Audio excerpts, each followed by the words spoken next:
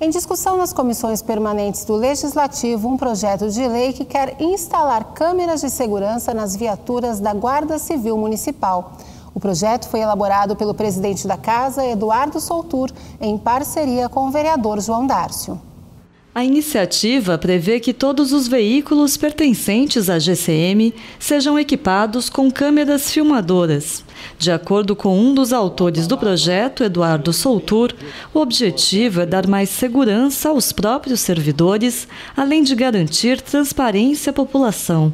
Primeiramente, esse projeto passou a ser meu e do vereador João Dárcio, né? E esse projeto veio de encontro que a sociedade pede, né?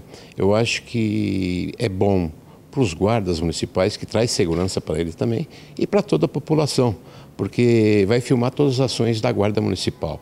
Isso é muito importante, porque às vezes tem algum acontecimento na cidade que fica com dúvida. E essas câmeras vai tirar dúvida de todo mundo, tanto da guarda e tanto da população.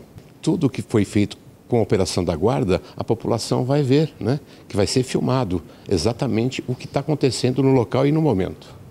Na justificativa do projeto, os autores destacam que as câmeras de segurança devem ter também GPS.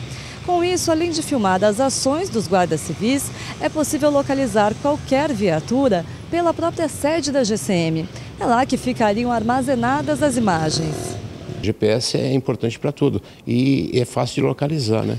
Então, eu acho que esse projeto veio de encontro que a sociedade pede, a segurança vai aumentar da cidade e a segurança dos guardas também. Que isso que a gente, eu e o vereador João Dárcio, se importamos também com a segurança dos guardas municipais.